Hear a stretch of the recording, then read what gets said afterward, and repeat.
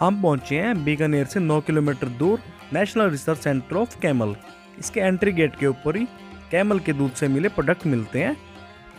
सबसे पहले हमने यहाँ से कैमल फ्लेवर्ड मिल्क खरीदा यहाँ से, जो पीने के अंदर बहुत टेस्टी लगा।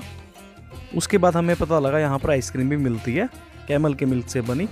तो देर किस बात की थी? हमने यहाँ से कैमल से कैमल के दूध से बनी आइसक्रीम भी ली। और वो भी बहुत टेस्ट हंड्रेड रुपीज़ की टिकट हमने यहाँ पे ली टू पर्सन के लिए और एंट्री करते यहाँ पे कुछ शॉप्स हैं जो कैमल्स नेचुरल डेथ से मर जाते हैं। उनकी बोन से और चमड़े से जो प्रोडक्ट बनाए जाते हैं वो यहाँ पे मिलते हैं।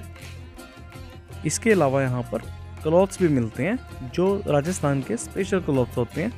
वो भी आप यहाँ से खरीद सकते हैं। इसके बाद हम आगे गए कैमल सफारी के लिए।